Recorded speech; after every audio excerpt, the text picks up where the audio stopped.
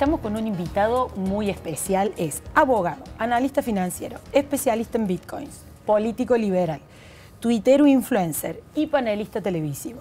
Además, ex concejal de Cava eh, por la UCD y ex aliado político de Javier Milei. Carlos Malatón, bienvenido. Bueno, un Muchas placer gracias. estar aquí, Florencia, en la histórica La Voz del Interior. Muchísimas ¿eh? gracias. Nos contabas que en tiempo real tuiteaba- tuiteabas tu ingreso acá a La Voz del Interior. Claro, yo puse que estoy ingresando a La Voz del Interior para una nota y que vengo cantando Amor clasificado de Rodrigo, que a veces la gente se olvida que hablaba de La Voz del Interior, que era un aviso buscando un amor. Y sale uno, un forista, a decirme, no, peso de rubro 59. No, no, no es el 59. Era título gratuito. Y yo digo, esto, es- este era un pre-Tinder. La gente ponía busco novia, busco salir, ta, ta, ta. Así que todo legal. Eh, es difícil definirte. Mira, leía una nota muy linda, un perfil que había hecho tuyo Alejandro Selovsky, un periodista. Mm. Entre otras cosas te definía como gurú de la existencia, consultor de lo todo. Y contaba en la nota que, por ejemplo, te escribía, entre toda la gente que te escribe, una chica de 23 años y te pedía consejos porque le gustaba un chico. Sí, es verdad. Te invitaba a ir a la primera cita con ese chico. Fuiste, les pagaste la cuenta Sí. y estimo que la relación sigue adelante. Y a la vez estás en Córdoba, diste charlas de economía, mercados financieros en la Universidad de Villa María, no sé si creo que en la ciudad de Córdoba también. También. O sea, ese espectro consultor de lo todo, ¿cómo, cómo se llega a esa situación? Mira, yo, yo tengo una gran influencia periodística. Ajá. O sea, yo desde niño leí, no un diario, todos los diarios. Y escuché todas las radios del mundo, porque yo escuchaba onda corta. Entonces yo estuve naturalmente bombardeado, aceptándolo, a informaciones, informaciones. Entonces yo tengo una vida donde voy siguiendo todo lo que pasa. En ese todo lo que pasa no hay un tema que me interesa, hay cientos de temas que me interesan. Y todo se hace como una unidad donde yo voy viviendo día a día, monitoreando los acontecimientos locales, culturales, mundiales, de lo- las guerras, la cosa que sea. Y entonces después de tanto recibir del periodismo, y es probable que uno tenga opinión para todo, ¿no? Claro. Además has ganado mucha popularidad. Pero por- esto no. Yo no estoy, nunca estuve en un plan como diciendo, yo ahora voy a ser un comunicador, un influencer, eh, con una finalidad específica. se fue Por dando. eso yo me defino como forista. O sea, ¿qué hago? Simplemente escribo en las redes. Mm. Hoy la más importante era Twitter, en el pasado eran otras. Entonces yo opino, opino, y, y no es un solo tema.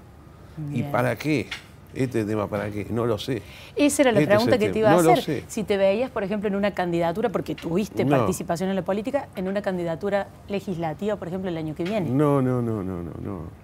No, yo, eh, respeto mucho to- toda la actividad política, pero me aburre mucho. Eh, la- es, es raro lo que te digo. La actividad política práctica me aburre, la respeto, me gustó, volé con, con la política hace cuatro décadas, pero yo no sería nuevamente legislador de nada. No. Eh, eh, ¿Por qué? Pues es una actividad muy lenta para mi gusto. Bien. Ahora, la vida puede sorprender. A lo mejor yo me engancho en un proyecto político y me- alguien me dice, tenés que estar acá. Bueno, si no hay más remedio, pero eh, seguro que no me van a ver en, la- en una lista en el año 25.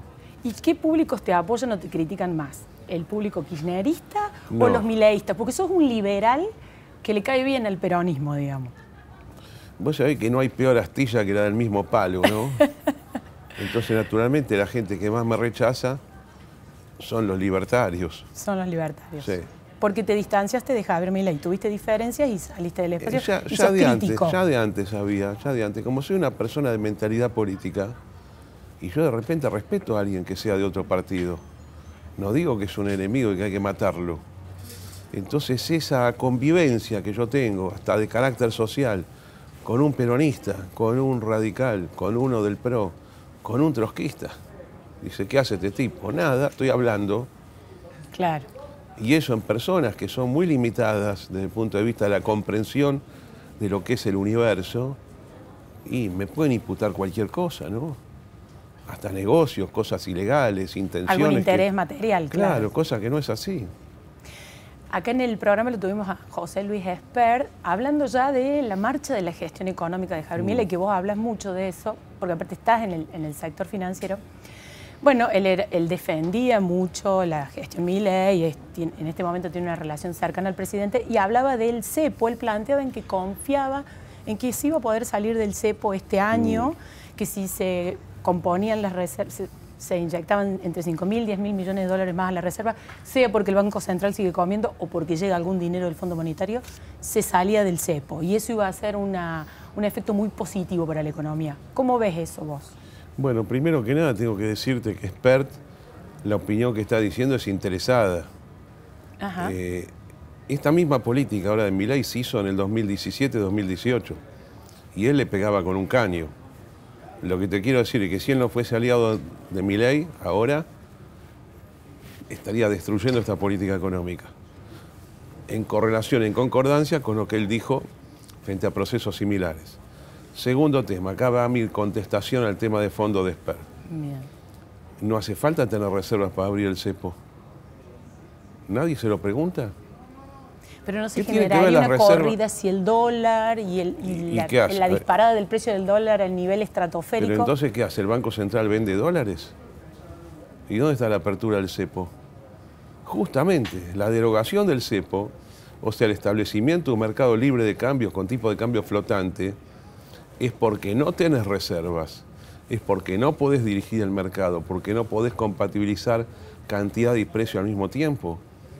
En el mundo no funciona el cepo, no funciona el cambio fijo, funciona el cambio libre y flotante. Pero en realidad en este sistema mundial no son los bancos centrales los que compran y venden divisas, lo hacen las personas y las empresas entre sí. Los bancos centrales no liquidan el comercio exterior. Este es el punto central que la dirigencia política debería discutir y los economistas, que a mí me sorprende que no lo hagan. Claro. Yo le digo ahora, para el que lo quiera escuchar, ¿por qué estás pidiendo reservas para abrir el cepo? Claro, es la idea. Se, ¿Pueden contestarlo eso? Alguien lo puede, lo puede contestar. Para manejar el precio. Y entonces, entonces no hay mercado libre. Claro, claro. Y siempre vas a perder por ese lado, porque vos cuando querés manejar el precio, es porque sobrevaluaste tu propia moneda y subvaluaste la moneda que vos estás ofreciendo en el mercado porque decís que subió mucho. Claro. Y esa sobrevaluación de la propia moneda ha sido un problema argentino durante muchos años, pero en particular en los últimos 13 años. Argentina arruinó su economía en los últimos 13 años. Y esto ha sido común al segundo gobierno de Cristina Kirchner, al gobierno de Macri, al gobierno de Alberto Fernández y a este gobierno de Milei que no hizo todo lo que tenía que hacer, mejor dicho, no hizo nada de lo que tenía que hacer en esta materia y por eso está fracasando. Los problemas argentinos nacen en noviembre del 2011, cuando se establece el cepo, y en febrero del 2014, donde, donde además se hace una política de absorción de dinero y el Banco Central empieza a pagar intereses sobre su propia moneda. Mm. Esa combinación de dos cosas es muy destructiva. Lo que te genera es un país con economía recesiva continua, con una tendencia eh, absolutamente improductiva. Y mi ley, en lugar de, liberar inmediatamente estas dos variables, retirarse del mercado de dinero, o sea, no tomar más deuda remunerada y liberar el mercado de cambios, incentivó estos mecanismos, lo cual era totalmente previsible, siendo que el ministro Caputo es el mismo que estuvo con Macri. Claro, o sea, ¿sentís que hay un tiempo económico que se le está agotando ahora? Ya se agotó. Yo el 18 de diciembre escribí que esto iba al fracaso rápido. Se terminó. Esta semana es contundente en cuanto al crash financiero que está viviendo el país. ¿Y qué va a pasar? ¿Cómo se sale de esto? Vamos ahora a tener una depreciación monetaria muy importante, el peso se va a caer, o sea, no, no vale más 1.300, va a valer más las, las acciones no baja más el dólar, digamos, todo lo contrario. Las acciones y los bonos están cayendo a pedazos. Hoy ya es el segundo día de crash. Y respecto a otro aspecto que es importante, que es el funcionamiento en, materia de gestión del gobierno. Por ejemplo, otra cosa que planteaba Esper es que eh, para él el funcionamiento es eficaz porque, bueno, Milley es un profeta que está evangelizando con todas las ideas del liberalismo y demás, y hay todo un equipo de gente, los que manejan los ministerios, que se dedica a la gestión y que se dedica a bajar a la realidad sus ideas. Él no tiene interés en la función de ser presidente. No es para él el tema. A él le, le gustan las grandes líneas del pensamiento, los actos públicos, los viajes internacionales, las conferencias.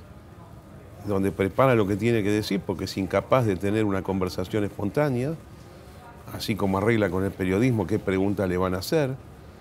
Eh, y está en eso. Claro. Y, ¿quién maneja el gobierno? Lo maneja Karina Mirey, lo manejaba Pose, ahora lo maneja Francos, que es mucho mejor que Pose. Están actuando mal en este punto. Em, respecto de Karina Milei, algo en lo que está trabajando, hemos conocido, acá incluso la, tuvimos eh, por ese tema, es el armado eh, partidario de cara a las elecciones legislativas, con el objetivo de que la, fuerza, eh, que la Libertad Avanza se constituya en una fuerza nacional. Mm. Y no tengan que alquilar más ellos. Claro, está trabajando con Lule Menem. Eh, acá vino por, por, eso, a la justicia, en el proceso de regularización que están llevando adelante. Vos participaste de eso, recuerdo el alejamiento tuyo también fue en un periodo similar, eh, no coincidiste con la incorporación de Kikuchi, que fue en su momento el que hizo esta labor. ¿Crees que esta vez, y por lo que la conoces a ella, puede ser exitoso ese armado y realmente tener un buen desempeño legislativo el año que viene en la libertad avanza? Son dos cosas. La primera te digo que sí, que lo van a armar el partido, porque es el presidente. El presidente pone un cartel en cualquier provincia, dice afíliense, juntan las fichas necesarias, está hecho el partido. Ahora, eso no quiere decir que el partido constituido vaya a tener vida política partidaria, no la va a tener. Eso es obediencia absoluta al liderazgo, a la orden que viene desde la capital federal, ¿no? Claro.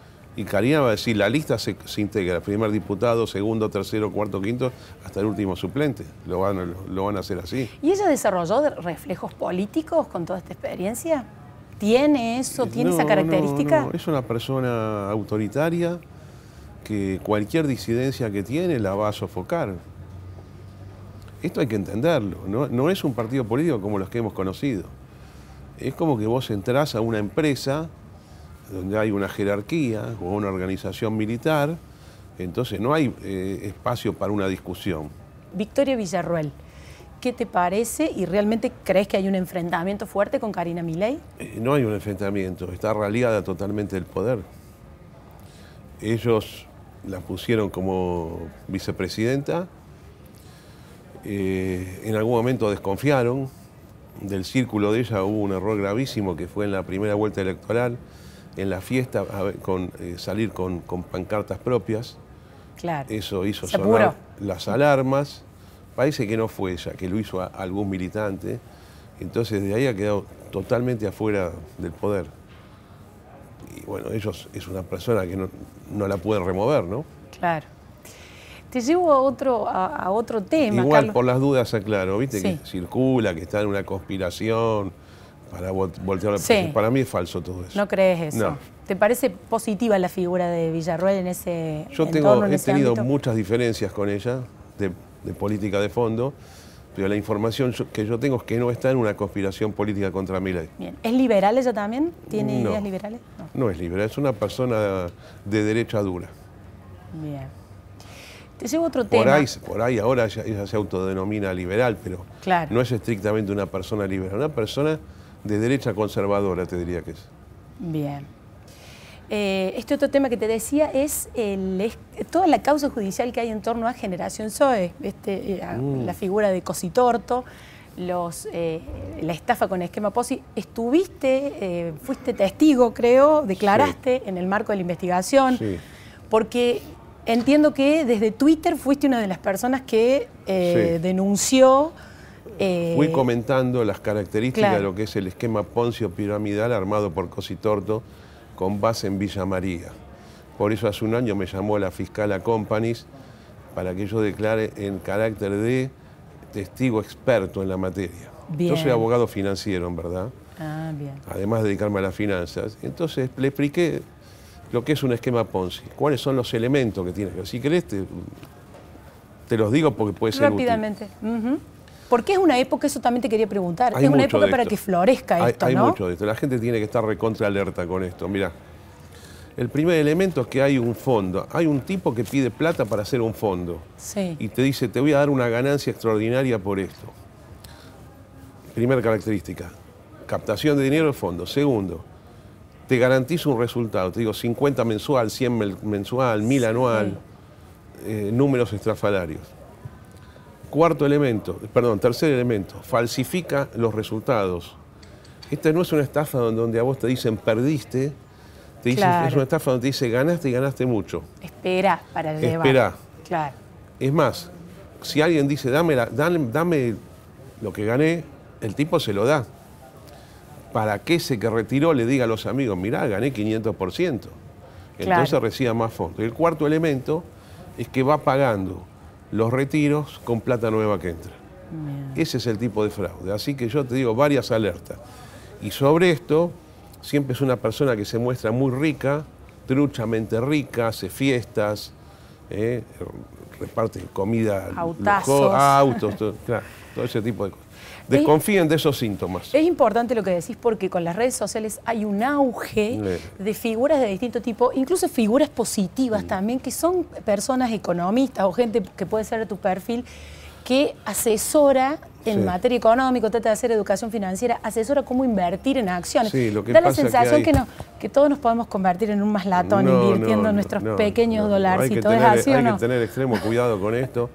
Porque mira, eh, hay muchas personas que, dicen, mira, yo gano 100 mil por mes, dólares, 150 mil, se muestran en Dubái con autos. Sí. Eh, otro que te dice, lo que vos haces no sirve para nada, tenés que hacer lo que hago yo, que gano mucha plata. Ese tipo puede ser la cabeza de un Ponzi o puede ser un tipo que te vende un curso por 3 mil dólares. Claro.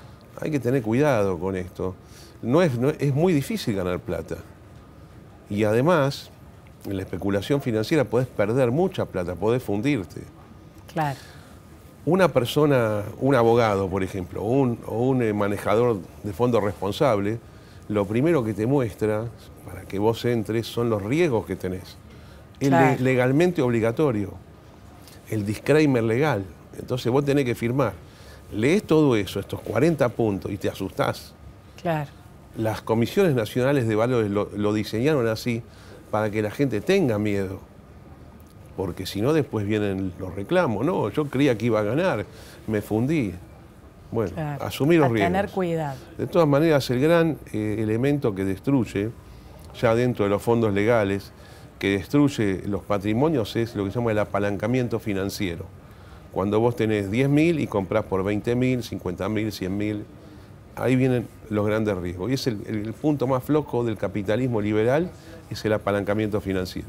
Bueno, ya que estás en Córdoba, cierro, voy cerrando haciéndote una pregunta de Córdoba, usando tu lenguaje. ¿Acá en Córdoba somos bullish o cómo somos? Eh, eh, Argentina está en recesión ahora, está bearish. Sí. Pero la información que yo tengo y lo que veo es que Córdoba es el lugar menos recesivo del país. Ajá. Y Santa Fe en alguna medida también. Por algo debe ser. ¿Qué ves que percibís de la idiosincrasia cordobesa? Siempre me gustó Córdoba. Es la provincia, somos 23 provincias, una capital federal. La provincia con más personalidad es Córdoba. Esa es la verdad. ¿Y te conoce mucho? Personalidad. Personalidad. ¿Y te conoce mucho la gente acá? Es, una linda personalidad además. Porque es una personalidad que es muy orgullosa de lo propio sin agredir lo ajeno. Me conoce mucha gente, sí. Son muy amables conmigo acá. Inclusive en una provincia donde tres cuartos votaron a mi ley, me tratan bastante bien. ¿Vos crees que acá las ideas liberales permean más, están más presentes que en otras provincias? Eh, hay una tendencia por la cultura cordobesa que sí. Además yo creo que Córdoba siempre tuvo un rol de equilibrio en el sistema político argentino. Cuando el país se bandea para un lado, Córdoba dice, cuidado que estamos nosotros, eso no va. Cuando se bandea para el otro lado, también aparece Córdoba. De hecho, este partido cordobesista que se ha creado en los últimos 15 años. Sí, es una continuidad, pero ahora con más fuerza Martín Yallora, el gobernador. Pero tiene, es un origen de la sotista, pero también en el radicalismo pasa una cosa así. Hay una naturaleza política propia de la provincia que vale mucho que sea así. Yo siempre le digo, ustedes se tienen que animar con esta ideología que es moderada y equilibrada a ir por afuera de Córdoba a Creo que puede ser bueno más allá de eso. Pero por supuesto, algunos le tienen miedo a, Buenos Aires, yo creo que es un error. ¿No lo votaste a Juan Schiaretti como candidato? No lo voté. No, no, no, no. Era un buen candidato, sí. La gente lo conoció ahí. Eh, fue el mejor en los debates, ¿no? Sí. Pero además subió la cantidad de votos en la primera vuelta, sacó como, como 7%. Imagínate que una campaña así empezaba cinco años antes. Capaz que podía estar peleando algo, ¿no? No con Córdoba solo, pero sí con Córdoba, con un montón de aliados de un pensamiento similar. Y respecto de las ideas liberales que parecen realmente protagonizar un cambio cultural en Argentina, si la gestión de mi ley fracasa en lo económico, ¿vos crees que en esto de bandearse vamos a volver a una orientación más de centro, eh, centro-izquierda con un protagonismo del peronismo tradicional o no? ¿O esto ya llegó para quedarse? La lógica histórica dice que sí, que el fracaso de la política económica de ley va a llevar a que se diga que fracasó el neoliberalismo, pero yo en este momento tengo la esperanza de que no suceda así. Hay un liberalismo que no es el extremista de mi ley, ni es el liberalismo que no hace mi ley, porque todo esto que yo te dije del control de cambios no es liberal. Claro. Que yo creo que, yo creo que está dada la maduración política suficiente en el país como para que tengamos un, un modelo liberal, razonable y moderado. O sea, creo que no vamos a ir al comunismo si fracasa mi ley. ¿eh? Pero Estado presente, probablemente. Sí, pero Estado presente, eh, el Estado tiene que estar presente. Lo que pasa es que el Estado no tiene que dirigir la economía, pero el Estado tiene que distribuir y tiene que ocuparse. Ayer salió 55% de pobres. La verdad son números escandalosos. El Estado tiene funciones esenciales y exclusivas como la seguridad interna y la defensa y la administración de justicia. Eso solamente puede ser estatal. Hay otros servicios como salud y educación que pueden ser compartidos. Bueno, en Argentina son muy importantes. La marcha por la educación pública de hace un mes y medio ha sido fundamental para frenar una idea que tiene mi ley de borrar toda la educación pública. Y además está la ayuda social es compatible con el liberalismo que haya ayuda social. Ayuda para el que está mal.